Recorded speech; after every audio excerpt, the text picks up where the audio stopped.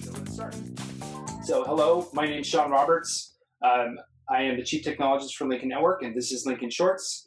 I have with me Tennessee Secretary of State uh, Hargett, and um, and uh, we're asking different elections officials from around the country. Um, we've got New York and Ohio and a, and uh, a few other Washington, a few other states under our belt, and we wanted to ask an elections official from Tennessee um, some uh, questions from the voters' perspective, being so close to election. So here's the first one: um, What should the voter do if somebody asks for your ballot? And this would be either at your door or on your way to dropping it off, or um, assuming that you're voting absentee, of course. Um, uh, so, what should the election uh, official, excuse me, what should the voter do, sir? Well, first, Tennessee law says that you're supposed, the voter is supposed to mail back their ballot. So, I, I would, if if someone came and asked for my ballot, if assuming I were voting absentee by mail, I wouldn't give it to them. Number one, I, I just wouldn't want to trust somebody else with my ballot. I would personally want to see it hit the mailbox and know that I put it in the mail. And, and, we know of problems that have occurred in other states. I mean, those are well documented. What happened in North Carolina, um, what ha- has happened elsewhere. That you know, I, I just think that the voter needs to make sure that their ballot gets in the mailbox themselves. So that that's and that's Tennessee law is that the voter mails are on ballot what we're encouraging people to do is if they know they're going to vote absentee, to make their request now. Right. Um, you know, they have until a week out. And, and, one of the things that we're facing, and this is national as well, is you know our deadlines that are set in statute don't necessarily map up with what the United States Postal Service believes is a deadline. And, and I'm not being critical of the United States Postal Service. You know, our our relationship with them is probably better than it's ever been, frankly, just because some of the things that have been said have forced a lot of secretaries and election officials on both sides of the aisle to have questions. And at the end of the day, postal workers really want those ballots to get out. I believe. You know, we hear about uh, you know a few bad actors here and there. Um, there are bad actors everywhere. You know, and and I say that. Uh, you know, there are bad actors in all forms of life and all professions, and so you know, I think the post office is genuinely interested in getting ballots back on time. Let's take Tennessee, for example. You know, our our absentee ballot by mail request deadline is a week out from election day, so October October 27th. Well, if you make your request um, by October 27th, and then the local election commission sends you a ballot, you know, as soon as they get the request, you know, probably best case scenario, you're looking at October 29th. Um, more than likely October 30, 31st is when that ballot gets back to you. You've got to get that ballot filled out and back in to the local election commission. And you're asking all that to happen within a period of seven days. And, and we know from experience, we've all mailed different things that didn't get there in seven days. And it doesn't make the Postal Service bad people, doesn't make election um, officials bad people, it doesn't make the voter uh, wrong. I mean, it's just a fact of life. And so what we're really focusing on is if you're going to vote absentee, hurry up and make your request so that ballot can we can get that ballot back to you, and then you in turn can get that ballot back to your local election commission. Is there a, uh, an option, sir, to get that ballot, or to, excuse me, to drop it off the elections office or some other location? If, you know, Ten- no, Tennessee law doesn't allow for that. Um, you okay. know, that's, that's, a question that's been asked here and actually been litigated here, and um, and it's just it's not what Tennessee law allows for. And so, Understood. you know, if I can, I can talk a little bit more about that. You know, one of the interesting things, and you feel free to cut me off and say, "Hey, uh, this that that's that's more than I wanted to know, and I've got other things I want to ask." That's fair. Um, you know, no, in please, Tennessee, in Tennessee, we are an in-person state, in-person um, voting state. So, what that means is during a typical election, less than two percent of our voters vote absentee by mail during a presidential election, it actually spikes to two and a half percent of the people vote by mail. Um, simple math tells you that means somewhere between 97 and 98 percent of the people vote in person, either during early voting or election day. We've got two weeks of early voting. So, and during a typical presidential election, over around 60 percent, sometimes a little more, sometimes a little less, will vote during early voting. So by the time election day rolls around, three fifths of the ballots are already back into local election commissions.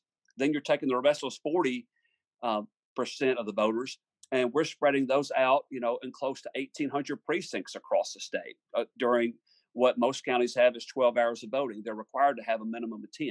Most have 12. And so, you know, and all that happens at the same time that close to a third of Tennesseans actually already had the ability to cast an absentee ballot. So while uh, approximately 33% of Tennesseans were over the age of 60, or and I say I should say voters over the age of 60, um, or you know out of town election day. You know, there's a certain number of people who are automatically be out of town, living, you know, who live out of state, um, or who are sick, hospitalized, or disabled, maybe permanently so. At least a third of those people are already qualified to vote absentee, yet they've still continue to vote in person. So um, it, it's a pretty big transition in Tennessee, and so we've had to a, have a lot of conversations helping Tennesseans understand here's what it takes to cast an absentee by mail ballot in the state. And mm-hmm. at the same time, work with all 95 county election commissions to make sure that we we give guidance to them that they can use in their respective counties. So that's been part of our challenge here. Um, you know, and, but we're not unique. I mean, there's a lot of states out there having similar challenges to us. Very few states out there have successfully done, um, you know, broad spread by mail balloting. You know, I, Washington's obviously one. Um, you know, I think Colorado has been another. I think Oregon has, from what I understand, done pretty well with it. And, and then we're seeing some other states that, you know, they tried to ramp up and go to a massive by mail balloting, universal massive by mail balloting, where they have sent ballots to people unsolicited. And, and that's presented an entirely new set of problems for some of those states. Sure. Sure. So, um, yeah, well, it, it I guess it goes to the consistency of the system that uh, you don't want to make um, in complicated systems. You don't want to make uh, large scale changes, um, uh, and uh, in, unless you're planning on dealing with failures. Um, obviously, we we want to be as methodical as we can with the voting system because uh, people expect their vote to count and they expect they expect to have uh, less drama during the um, election uh, well, I, and I like how you said that because that's one of the things that you know, and obviously I'm a Republican, but you know there are Democrat Secretary of States out there too who I trust a great deal um, to run a good, honest election in their in their state, and I believe they are doing the best that they can within the confines of their laws. Right. And you know, and, and we're all kind of at center stage right now, especially when we're going to see more by mail ballots than we've ever seen before. At the same time, that you know, we have a lot of different narratives that are going out with some people saying you shouldn't trust United States Postal Service for your ballot. Others are saying you should trust, and others are saying you absolutely have to go vote in person. And then, you know, then you have some people talking about voter suppression, and some people talking about voter intimidation, and some of both. And um, so we're we're right at the center of all that and um, and trying to run a drama-free election feels dar- pretty darn near impossible right now. We had one in August, by and large, in Tennessee, where um, we were very fortunate. 94 out of our 95 counties had all of their election returns in by midnight. Uh, we're not going to be that lucky, in my opinion, this November, and I think the nation needs to be patient. Um, and I and I say it to Democrats and Republicans, Independents, all of us. You know, we would rather get all the votes counted and counted accurately than try and feel like we've got to hurry up and have, you know, an, a vote total for everybody by the time midnight rolls around. Um, I, I, think people expect us to get it right, not necessarily done fast. Um, and, and, so we're focused on accuracy. Okay, yeah, that, that's great. Uh, that that is an excellent point. Um, so uh, there's one thing that jumped into mind, um, attempting not to jump all uh, topic to topic.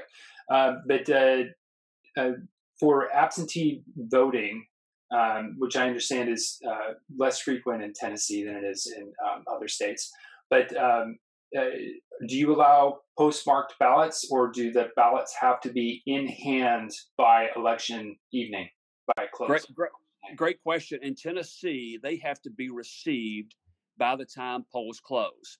Now, honestly, and, and I haven't talked a lot about this, it's something we're going to be talking about um, in the next week or so, especially as the deadline to get those ballots back in looms, is we've had a lot of conversation with the United States Postal Service who has assured us that they're doing sweeps every night to make sure that the election mail is not going to be anywhere left in that facility. Especially as the deadline, election day looms, they're going to be working to get those ballots to us. And in fact, I'm going to be encouraging county election administrators to have a plan in place where they make sure that late in the day on election day, that when all by, by closing time of the uh, the the post office, that they go to the post office and make one last plan to pick up any ballots that that might be there. Um, so we, we want to make sure that we get all that we can. Do everything that you can. Well, it sounds like you're going above and beyond within the laws of your state. So um, that uh, that's great. Thank you for joining us. This has been Lincoln Shorts.